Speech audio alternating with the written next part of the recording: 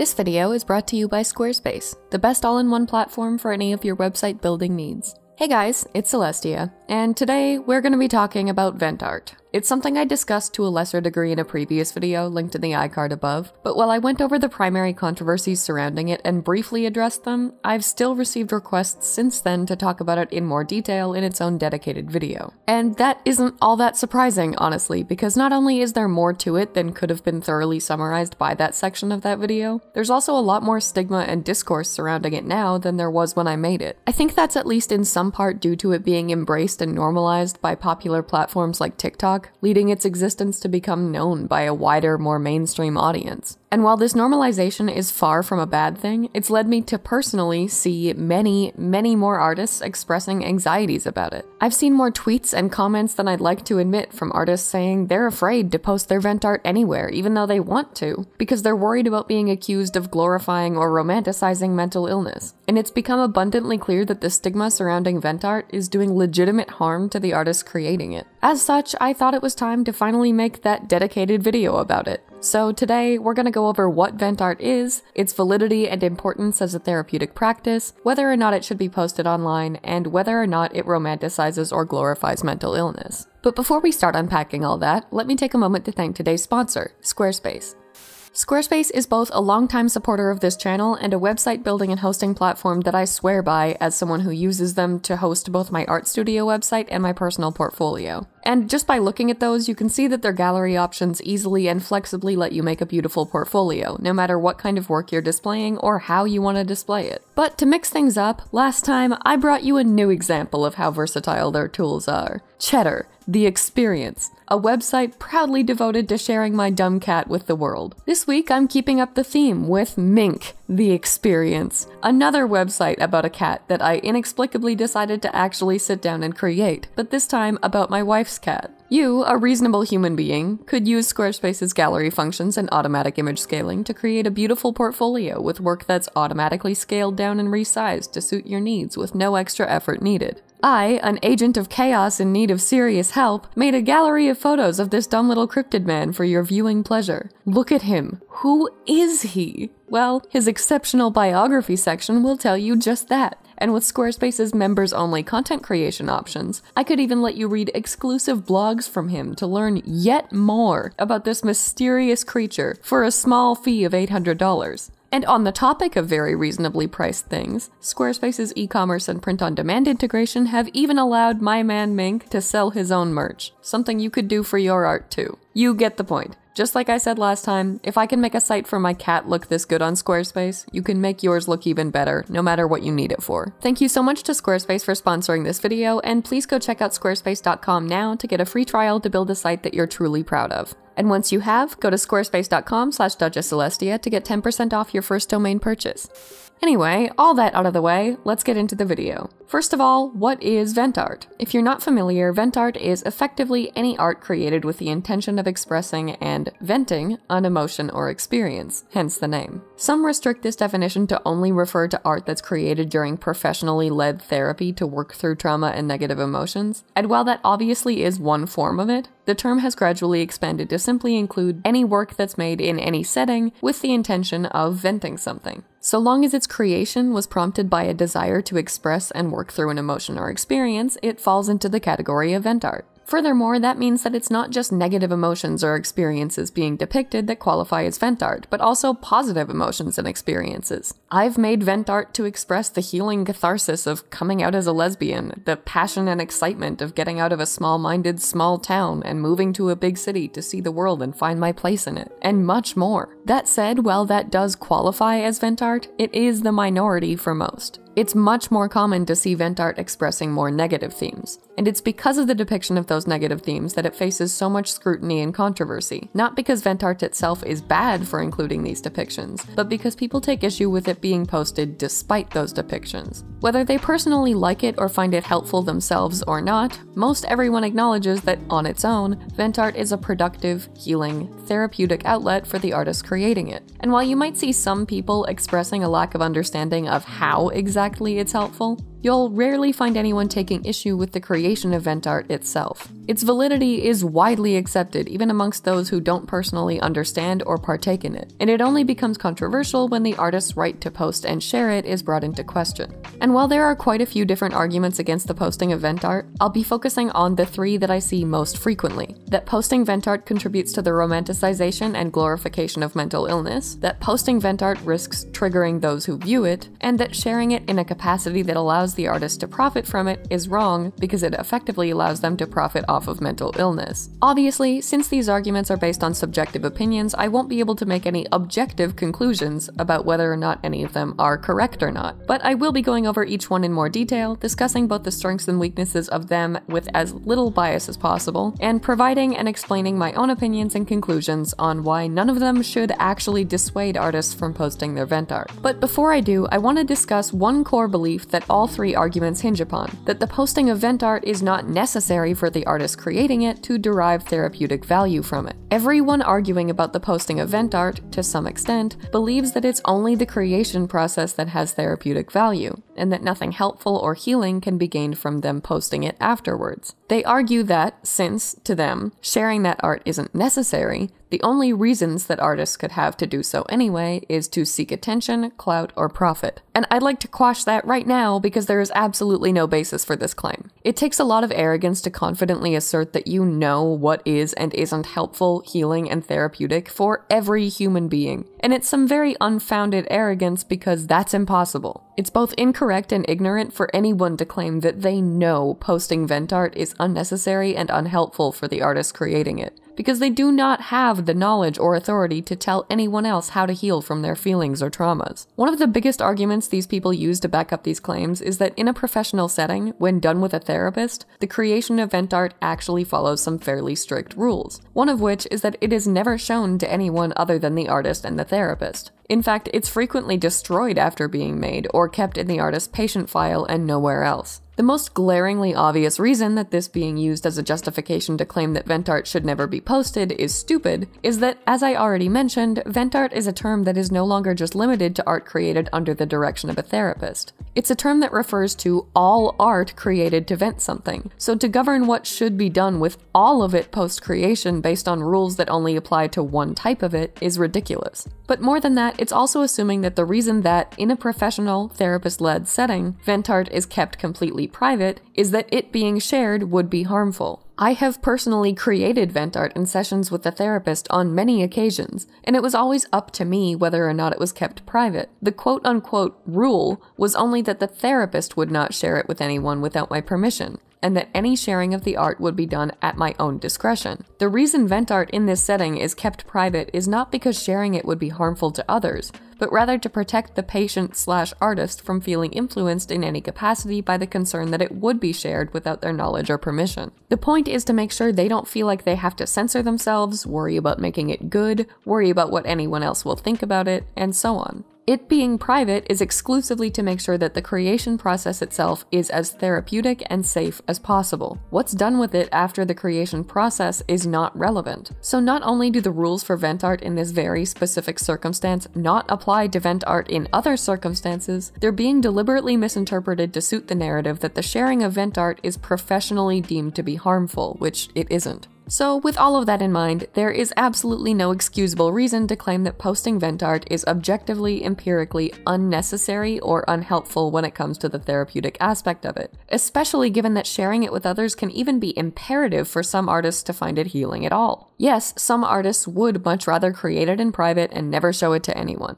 but others find immense value in posting it so that they can connect with other people who have gone through similar experiences and felt similar feelings, allowing them to find a sense of validation and community through this work. Of course, there are some artists who do post vent art solely because they want attention, followers, or clout, but they are the exception and not the rule. Most artists who share this work do so primarily because they find some kind of therapeutic value in doing so, and because sharing their feelings with others who feel the same helps them. It can even help to bring awareness and understanding to things like mental illness by providing a visual representation of how it can feel to suffer from it. The vast majority of artists posting vent art are doing so with positive intentions because it's an integral part of the healing process that it offers for them, and they should not be lumped in with the much smaller minority that are posting it with negative intentions and judged as a result. Now that that particular misconception has been dispelled and we've established that there's no justification for claiming that it's always unnecessary to post vent art, let's move on to the three previously mentioned arguments that people use to claim that it's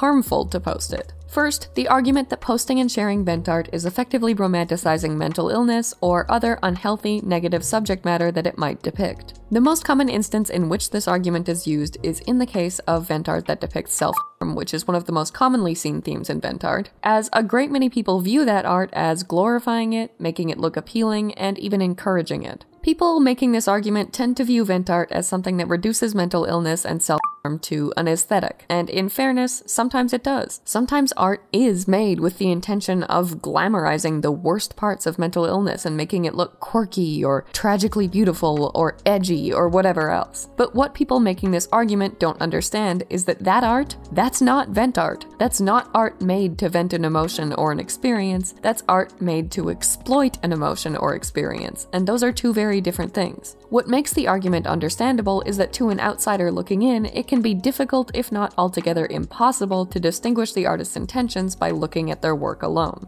An artist who is making vent art with the intention of expressing themselves, and an artist who's drawing a character hurting themselves because they think it's edgy and cool, could make the exact same piece. And because you can't know an artist's intentions or motivations just by looking at that piece, it's impossible to say which one is vent art and which one isn't. So when people make this argument, I can't totally blame them, because sometimes they might be right. Sometimes the art they're talking about is romanticizing mental illness, and sometimes it's perfectly valid, well meaning vent art. So I can completely understand the frustration that fuels this argument's prevalence, and I'll admit to having felt it myself sometimes. But ultimately, in my opinion, if we have no way of knowing for sure if a piece of art is vent art or just romanticizing dark subject matter, but we do know that the vast majority of it probably is vent art that's just being shared with positive intentions, it's much fairer and more reasonable to simply treat all of it as if it is vent art. Because really, we have two options if we can't tell them apart demonize all vent art and tell artists not to post it just because there are a few assholes using it as a trend or an aesthetic, or accept all vent art as valid and risk enabling a few assholes using it as a trend or an aesthetic, while also validating and supporting artists just trying to work through their problems. And I think the second option does much less harm. I just don't see how assuming all vent art is glorifying dark topics just by depicting them is productive, because that's very much not the case. Depiction is not automatically endorsement. Drawing a character with self-harm scars because you're struggling with self-harm yourself does not mean you're saying it's a good thing. It means you're acknowledging that it's a part of your life and your mental health, and that it affects you enough that you need to express it. It can help you connect with other people that are also struggling with it. It can help others who aren't struggling with it understand how difficult it is and what it's like. It can help you get out the feelings that you might otherwise have turned to worse coping mechanisms to handle, and it does not mean you're encouraging others to turn to those worse coping mechanisms just because you drew art of them. If anything, most vent art depicting those things is usually depicting them as being bad and painful and horrible, because that's how the artist is experiencing them, and because that's how they are. There are, in fairness, some instances in which it's clear through the art itself that it is endorsing what it's depicting, and that's usually in cases where there's a narrative. It can be borderline impossible to tell whether a single illustration is just depicting something as the artist experiences it, or glorifying that experience, because there's just not enough contextual information available. But in cases of comics, animations, and written stories, it can be much clearer, because the narrative involved will usually, to some extent, communicate the artist's intentions in making that work and the way they want the viewer or reader to perceive what's being depicted. In these cases, I think the argument does have more credence, but at the absolute most, I think that means that we should just be very conscious and critical of these works so that we can come to our own conclusions as to whether or not that is the case in each instance, not just look at every instance as if it is automatically glorification by default. The next argument levied against the posting of vent art is that it has the potential to trigger and upset those who view it, and that the artists who create it have a responsibility to protect those viewers from that. Those who make this argument believe that public online spaces should be free from content that has the potential to exacerbate the mental illness of those within it, and the sentiment behind that is completely understandable too. As someone who struggles with a lot of things that vent art frequently depicts, I have come across vent art on multiple occasions and been triggered by it, struggling more with those things as a direct result of having seen it and been reminded of it. And while yes, it would have been nice to not have that come across my Twitter feed out of nowhere, I don't believe that it's the artist's fault that I responded that way, or that they shouldn't have posted it publicly because people like me were liable to respond that way. I don't think that people making this argument are ill intentioned by any means. There's nothing blameworthy about not wanting fragile people, themselves potentially included, to be hurt by what vent art depicts. But I don't personally believe it to be the artist's responsibility to protect them from that response, because ultimately, it is the internet and it's the viewer's responsibility to curate their own online experience. If your mental health is fragile enough to be damaged by triggering content on Twitter, the solution isn't to expect triggering content to not be there, it's to not go on Twitter. Yes, the vent art I saw did trigger me, but I chose to browse a platform that had the potential to trigger me because I knew that I could handle being a little triggered well enough to be able to keep scrolling. If I thought I couldn't, I wouldn't have put myself in a position to encounter it. An artist can't be, in my opinion, held responsible for the way that their work is interpreted by others, and suggesting that any work, vent art or otherwise, that might upset viewers shouldn't be posted at all would do a severe disservice to the art world altogether. Some art is meant to be thought provoking, upsetting, disturbing, controversial, and so on. And to say that that art shouldn't be shared eliminates the potential for that art to spark important conversations,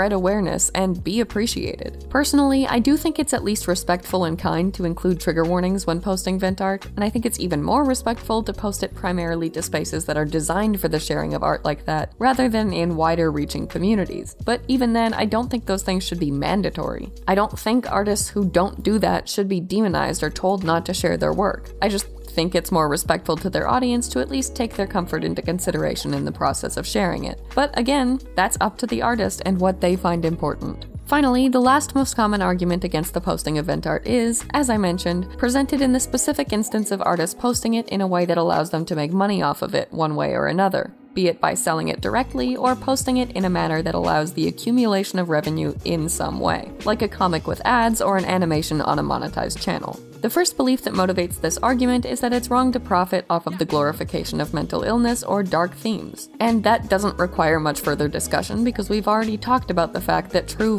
art doesn't glorify mental illness or dark themes, it just depicts them. The second belief that motivates this argument is that if an artist is profiting off of vent art, then they didn't really create it for the sake of venting, but rather for the sake of profit. And if that's the case, then they're cheapening the validity of vent art and exploiting the practice to make money from it. To an extent, I understand where this is coming from, because if an artist is creating vent art with the primary motivation of making money from it, there's absolutely an argument to be made that that no longer even qualifies as vent art, because the intention isn't to vent, it's to use dark topics to profit. But just like you can't tell by looking at it if the artist's intention is to glorify what they're drawing, you can't tell by looking at it if the artist's intention is to make it profitable. So to treat all vent art that is generating revenue as if it was created for that purpose is unfair and ignorant. Because in most cases, vent art that is sold or made to be profitable in any capacity is not created with that purpose in mind. It's created to vent emotions and experiences, and then after that creation, it's sold or otherwise monetized. And what's done with art after its creation, so long as what's going to be done with it isn't the reason for its creation, is completely irrelevant to the meaning of it. If you use art to work through your trauma and then decide that you like the piece that came from it and want to sell it, that doesn't suddenly take away the reason you made it or the meaning behind it, and it doesn't devalue it or make you some kind of sellout. Artists have every right to profit off of work that they pour their heart and soul into, and suggesting otherwise seems to me like just another example of society's commonly accepted, but also ignorant and harmful ideology that artists should do it for the art, not the money. And they're not real artists if they charge for it. Like, look at poetry. Rupi Kaur's work is effectively the written equivalent of vent art, even with some illustrations accompanying it, and she sells it in books because she deserves to be able to make money off of the work that she spent hours and hours creating. Her being able to make a living off of that work does not at all diminish the fact that that work was created to work through all of the trauma she was processing. And suggesting otherwise furthers a damaging narrative that the moment artists begin charging for their work, that work loses meaning. And that's just not true. Personally, I have an art journal full of vent art that I've created over the past eight or so years. And once it's full, I have every intention of publishing it to share a visual depiction of my journey processing and recovering from trauma, because I want to share that with others who are dealing with similar struggles. But I'd also like to make the year's worth of love, pain, passion, and effort that went into it something that is at least vaguely profitable, at least enough so to pay for production costs. And the thought that people would look at the fact that I'm selling it in book form as enough to completely diminish the significance of everything within it is incredibly disappointing, disheartening, and demoralizing. And the last thing I want is to enable or support an argument that puts other vent artists in similar positions. But anyway, in conclusion, where does that leave us in terms of whether or not vent art should be posted? As I'm sure you've guessed from all of the individual conclusions thus far, in my personal opinion, artists should always have the right to share their vent art with the world and no one should ever feel justified in suggesting otherwise, or suggesting that their sharing of it cheapens it to any degree. Vent art is so, so important. There are so many ways that both its creation and its sharing can be helpful to not only the artist creating it, but the people viewing it. And gatekeeping when it should and shouldn't be shared is just leaving perfectly valid, well meaning artists who could benefit from letting others see it, feeling anxious and scared to do so because of fear of judgment. It's a good, exciting thing to see vent art becoming more accepted and normalized online because it's encouraging artists who are struggling with mental illness and unhealthy coping mechanisms to express and work through those issues in a much healthier way through art. And in sharing that art, find a community of people who understand and can support them and heal with them too. So, to see the growing acceptance of it be matched by the judgment and policing of it in equal measure is incredibly disheartening. And my goal in making this video is to try to fight that policing and bring more attention to how positive of a practice it can actually be, so that even one artist can see this and feel better about posting their vent art in safe spaces they're comfortable in. I do think that if you want to take your peers' mental health into consideration, it's worth it to add trigger warnings and be respectful when it comes to where and how you post your vent art, but that's ultimately up to you. And I truly don't believe that any of the arguments I presented today should deter you from posting it at all. The absolute only time that I don't think vent art should be posted is the same instance I mentioned when I discussed it in the previous video, and that's when it depicts children in compromising situations. I understand that this vent art is created to work through the childhood traumas of the artist creating it, and I understand that it can be incredibly healing, helpful, and productive for them to make.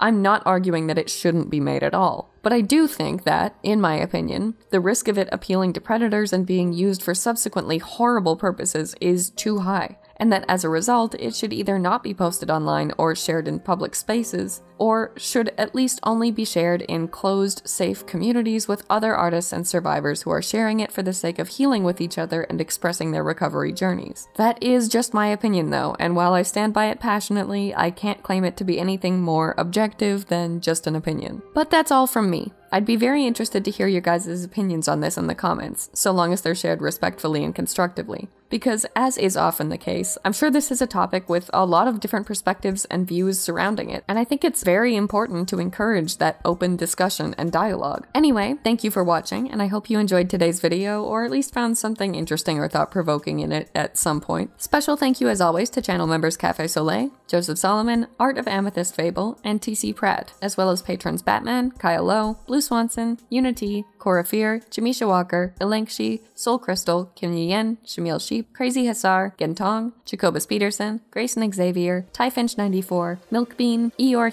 Heehaw, MG, Eclectrica, Blah Mage, and TC Pratt again for their support, and I'll see you in the next one.